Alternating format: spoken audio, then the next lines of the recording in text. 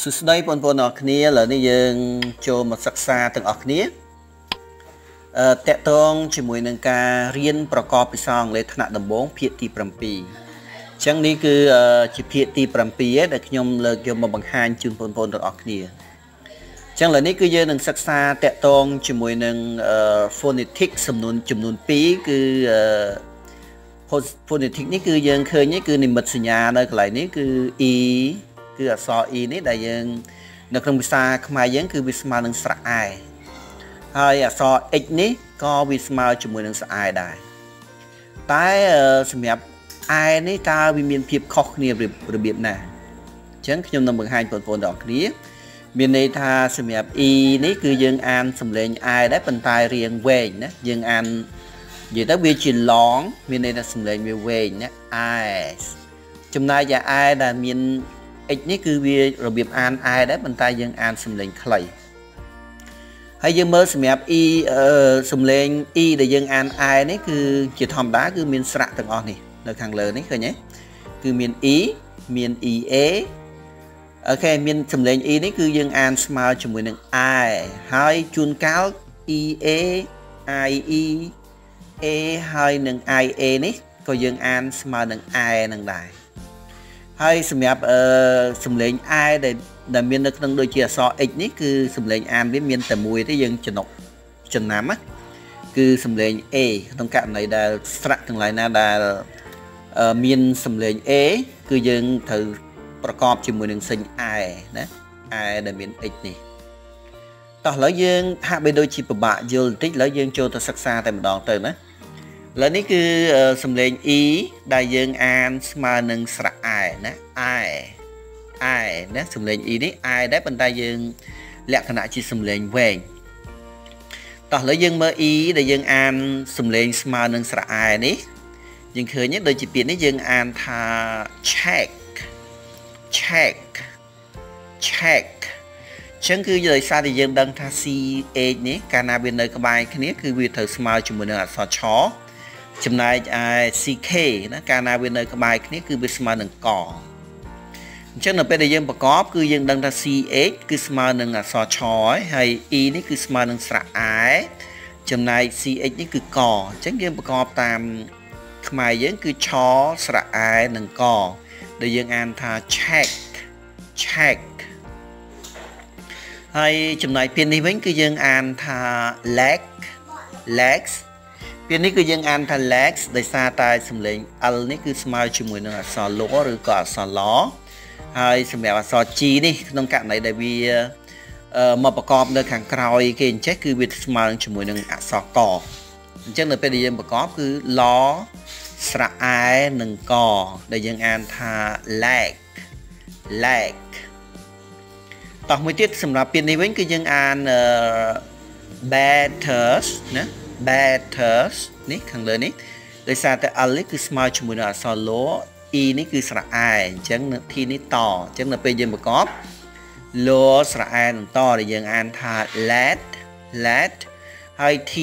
នេះគឺយើងអានថា ter ណាអញ្ចឹងពាក្យនេះយើងអានថា letter letter ចំណែកពាក្យនេះវិញគឺយើងអានថា red red ណាដោយសារតែ or នេះ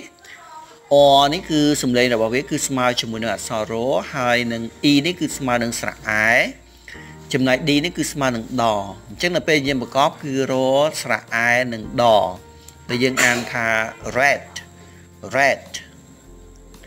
តោះយើងមើលខាងក្រោមនេះដូចជាពាក្យនេះយើងអានថា sentence sentence sentence អញ្ចឹងនៅពាក្យនេះយើង S E N នេះយើងអានថា shen ហើយនឹង T E N នេះយើងអានថា ten ណាហើយសំឡេង C E នេះយើងបញ្ចេញខ្យល់ណាពាក្យនេះយើងទៅជា sentence sentence yeah តោះឥឡូវយើងមើលបន្តទៀតសម្រាប់សំឡេង EA ដែល EA នេះគឺ មិនជានិច្ចកាលគឺ EA នេះស្មើនឹងស្រអែទេណាប៉ុន្តែ គឺជួនកាលគឺ EA នេះក៏អាចស្មើជាមួយនឹងស្រអែដែរជាធម្មតាគឺ EA គឺស្មើជាមួយនឹងស្រៈ E មែនទេប៉ុន្តែជួនកាលសំឡេង EA នេះក៏វាស្មើជាមួយនឹងស្រៈ E ដែរឥឡូវយើងនឹងសិក្សាសំឡេង EA ដែលយើងអានស្មើជាមួយនឹងស្រៈអែនេះទាំងអស់គ្នាយើងមើលពីនេះយើងអានថា bread bread ណាដោយសារតែយើងដឹងថា B គឺស្មើជាមួយនឹងអក្សរបចំណែក R នេះគឺស្មើជាមួយនឹងអក្សររហើយនឹង EA នេះគឺស្មើនឹងស្រៈអែ D នេះគឺដអញ្ចឹងទៅជាបជាងរស្រៈអែនឹងដដែលយើងអានថា bread bread គឺយើងមិនអានថា bread ទេពាក្យនេះណាគឺនំប៉័ងហ្នឹងគឺយើងអានថា bread bread អញ្ចឹងបងប្អូនទាំងអស់គ្នាយើងចំណាំណាយើងមិនអាន bread ទេពាក្យនេះគឺយើងអាន bread ហើយពាក្យនេះយើងអានថា head យើងអាន hit ទេបងប្អូនណាយើងអាន head ដោយសារតែសំឡេង EA នេះគឺស្មើពេលនេះគឺវាស្មើនឹងស្រអែអញ្ចឹងគឺ H គឺស្មើនឹងអក្សរហហើយ D នេះគឺស្មើនឹងដនៅពេលដែលយើងប្រកបបញ្ចូលគ្នាគឺហស្រៈអែនិងដដែលយើងអានថា head head តោះចំណាយពាក្យនេះគឺយើងអានថា red red ដោយសារតែសំឡេង r នេះគឺវាស្មើជាមួយនឹងអក្សររហើយនឹង ea នេះគឺស្មើជាមួយនឹងស្រៈ e ហើយ d នេះគឺស្មើជាមួយនឹងអក្សរដងអញ្ចឹងនៅពេលដែលយើងផ្សំបញ្ចូលគ្នាទៅជារស្រៈអែនិងដណាដែលយើងអានថា red red តោះមួយទៀតគឺសំឡេង e ie នេះ ie នេះក៏វាស្មើជាមួយនឹងស្រៈអែដែរណា i និង e ក៏វាស្មើជាមួយនឹងស្រៈអែដែរដូចជាពាក្យនេះយើងអានថា friend friend យើងអានថា friend នេះបងប្អូនអរគ្នាណា friend ដែលយើងប្រែថាមិត្តភ័ក្តិនោះអញ្ចឹងយើងពាក្យនេះដោយសារតែ e អឺ ie នេះគឺស្មើនឹងស្រៈអែអញ្ចឹងហជាងរស្រៈអែនឹង no យើងអានថា friend friend តោះឥឡូវយើងមើលសម្រាប់ A ដែល A នេះគឺវាស្មើនឹងស្រៈអែដែរណា ដែលយើងបញ្ចេញខ្យល់បើយើងសរសេរជាសិញវិញគឺ A នេះក៏វាអាចស្មើជាមួយនឹង E បញ្ឆេះនេះដែលយើងស្មើនឹង E ឥឡូវយើងមើលពាក្យដូចជាពាក្យនេះយើងអាន Annie Annie yeah Annie អញ្ចឹងដោយសារតែ A នេះគឺស្មើនឹងស្រៈអែហើយ N នេះគឺ no នៅពេលយើងប្រកបគឺ O ស្រៈអែនឹង no N ហើយ ny នេះទៅជា ni ណា N ni N ni ដែលយើងប្រែតែខ្លះ ហើយពាក្យនេះវិញគឺយើងអាន many yeah many many yeah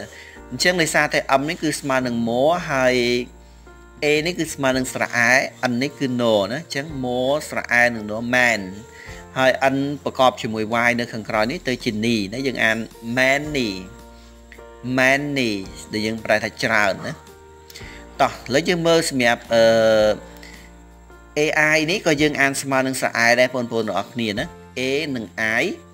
ក៏យើងអានស្មើស្រអែដែរអញ្ចឹងកាលពីមុនគឺយើងបានរៀនគឺ A និង I កាលណានៅក្បែរគ្នាគឺស្មើនឹងស្រៈ A មែនទេបងប្អូនប៉ុន្តែឥឡូវនេះគឺសម្រាប់ AI នេះក៏វាមានពាក្យខ្លះណាគឺយើងអានស្មើនឹងស្រៈ I ដែរណាឥឡូវយើងមើលសម្រាប់ A និង I ដែលយើងអានស្មើស្រៈ I មានដូចជាពាក្យពាក្យនេះគឺយើងអានថា again ឃើញយើងអាន again គឺយើងអត់អាន again ទេបងប្អូនទាំងអស់គ្នាណាអញ្ចឹងដោយសារតែសំឡេង a និង i ពេលនេះគឺស្មើនឹងស្រៈ i យើងអាន again again ដែលយើងប្រែថាម្ដងទៀតតោះដូចជាពាក្យនេះគឺយើងអានគឺយើងអាន set ណាគឺយើងអត់អាន set ទេបងប្អូនទាំងអស់គ្នាណា set គឺជា set នេះគឺជាអតីតកាលរបស់ say she set set ណា អញ្ចឹងយើងមើលសម្រាប់ AI គឺយើងស្មើស្រអែដែលយើងប្រកបគឺសស្រអែនិងដដែលយើងអានថា shed shed ដែលជាអតីតកាលរបស់ C ដែលយើងប្រែថានិយាយណា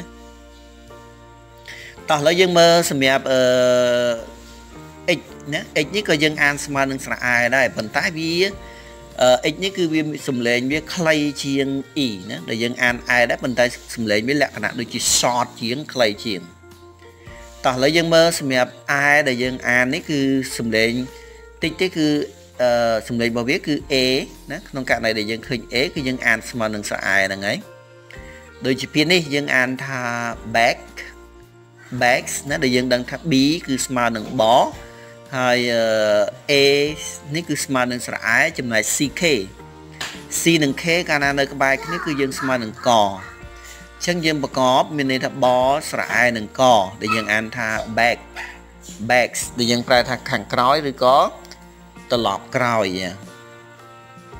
ហើយពេលនេះយើងអាន camera យើងអាន camera ណាដោយសារតែ C នេះគឺស្មើជាមួយនឹងអក្សរខ A ស្រអែ M នេះមកអញ្ចឹងខស្រអែនឹងមកយើងអានថា cam AR នេះទៅជាស្អាអញ្ចឹងមកស្អា Mara ណា camera camera ដែលយើងប្រើថាកាមេរ៉ាណាហើយពាក្យនេះគឺយើងអានថា factory ជា factory អញ្ចឹងដោយសារតែ A នេះគឺស្មើនឹងស្រអែអញ្ចឹង F គឺស្មើជាមួយនឹងហជាង w ណាហជាង w ស្រអែ C និង T គឺស្មើនឹងកអញ្ចឹងយើងប្រកបទៅគឺទៅជា fact fact ហើយដល់ពេល TOR នេះសម្រាប់ OR គឺស្មើនឹងជាមួយនឹងស្រៈអអញ្ចឹងធัวស្រៈអថយើងអាន factor ហើយ or យើងប្រកបជាមួយនឹង y នេះទៀតទៅជា ro សអ៊ី ri ណាយើងអាន factory ណា factory ហើយពីនេះដែរគឺយើងអានថា had had ដោយសារតែ h នេះគឺស្មើជាមួយនឹងអក្សរហហើយ a គឺស្មើនឹងស្រៈ i ចំណែក t គឺស្មើនឹងត អញ្ចឹងនៅពេលដែលយើងប្រកបគឺហស្រៈ i និងតដែលយើងអានថា had had ហើយពាក្យនេះវិញគឺយើងអានថា jam jam ដោយសារតែអក្សរ J គឺស្មើនឹងចហើយ A នេះគឺស្មើនឹងស្រៈអែ M នេះគឺស្មើនឹងមអញ្ចឹងនៅពេលដែលយើងប្រកបគឺចស្រៈអែនិងមដែលយើងអានថា jam jam ហើយពាក្យនេះគឺយើងអានថា ham ham ដោយសារតែ h នេះគឺស្មើជាមួយនឹងអក្សរហ A នេះគឺស្រៈអែ M នេះគឺមអញ្ចឹងនៅពេលយើងប្រកបគឺហស្រៈអែនិងមដែលយើងអានថា ham ham ដែលយើងប្រែថា ham នេះគឺមានន័យថាសាច់ជ្រូកផ្នែកខាងភ្លៅរបស់ជ្រូកហ្នឹងណាហើយពាក្យនេះយើងអាន manager ណា man manager ណាពាក្យនេះ man ដោយសារតែ m a n នេះគឺយើងអានថា man ណាមកស្រែនឹង man a n a g e នេះយើងអាន neck manager manager យ៉ាអ្នកចាត់ចែងណាតោះពាក្យនេះយើងអានថា map map ដោយសារតែយើងដឹងថា m គឺវាស្មើនឹង mo ហើយ a នេះគឺស្មើនឹងស្រៈ i p នេះគឺស្មើនឹងផ នៅពេលដែលយើងប្រកបគឺ mo ស្រៈ i និងផដែលយើងអានថា map map ដែលយើងប្រែថាផែនទីហើយចំណែកពាក្យនេះវិញគឺយើងអានថា plan plan ដែលយើងប្រែថាគម្រោងនោះអញ្ចឹងដោយសារតែ P នេះ P គឺស្មើជាមួយនឹងអក្សរផឬក៏ផចំណែក L នេះគឺស្មើលោអញ្ចឹងក្នុងករណីជញ្ជាក់2នៅជាប់គ្នា ជញ្ជាក់ទី2ត្រូវជាជើងរបស់ជញ្ជាក់ទី1អញ្ចឹងទៅជាផជើងលោលោហើយ A យើងគឺយើងដឹងគឺស្មើនឹងស្រៈអែ N នេះគឺស្មើនឹង no ដែលយើងអានថា plan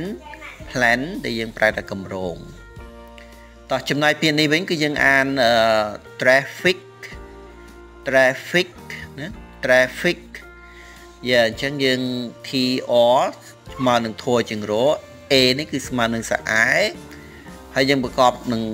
ជាមួយនឹងអក្សរហជាងវនៅខាងចុងណាទៅ T R A F នេះយើងអានថា traf ហើយ F I C នេះយើងអានថា fix ណា traffic traffic ដែលយើងប្រែថាចរាចរណ៍អូខេបងប្អូនទាំងអស់គ្នាឥឡូវនេះយើងតាក់ទងជាមួយនឹង phonetic symbol និមិត្តសញ្ញានៃការអានចំនួន2គឺ i ហើយនឹងដែលយើងអានសំឡេងវែងហើយនឹង i ដែលយើងអានសំឡេងខ្លី គឺមានតែប៉ុណ្្នឹងឯងណាហើយបើសិនជាបងប្អូនចង់សិក្សាតាក់ទងជាមួយនឹង phonetic symbol បន្ថែមទៀតបងប្អូនដែលមិនទាន់បានជួយចុច subscribe ឬក៏ជួយចុចសញ្ញាកណ្ដឹងទេបងប្អូនអាចជួយចុចផងរបៀបនៃការចុចគឺបងប្អូនថ្មីថ្មីគឺអឺយើងឃើញកន្លែងពាក្យ subscribe ហ្នឹងគឺមានពណ៌ក្រហមណាហើយបើបងប្អូនដែលបានចុច subscribe ហើយ គឺកន្លែងចុច subscribe ហ្នឹងគឺវាមានពណ៌ខ្មៅអញ្ចឹងគឺបងប្អូនមិនបាច់ចុចទៀតទេដោយសារបងប្អូនបានចុចរួចហើយណាហើយបើសម្រាប់បងប្អូនដែលចូលថ្មីគឺយើងឃើញកន្លែង subscribe ហ្នឹងគឺវាពណ៌ក្រហមអញ្ចឹងគឺយើងចុចលើសញ្ញាពណ៌ក្រហមហ្នឹងមក subscribe ពណ៌ក្រហមហ្នឹងមកហើយបន្តមកទៀតយើងជ្រើសរើសនៅសញ្ញាកណ្ដឹងហើយចុចយកពាក្យ all ដែលគេដាក់នៅខាងលើហ្នឹង ដើម្បីងាយស្រួលនៅពេលដែលខ្ញុំផុសវីដេអូទៅ គឺបងប្អូនឃើញតែម្ដងណាអញ្ចឹងមិនបាច់ចាំបាច់ស្វែងរកទៀតទេគឺអញ្ចឹងបងប្អូនដល់ពេលដែលខ្ញុំផុសវីដេអូថ្មីថ្មីគឺបងប្អូននឹងឃើញតែម្ដងអញ្ចឹងសូមអរគុណសម្រាប់ការចូលមកសិក្សាទាំងអស់គ្នានេះយ៉ា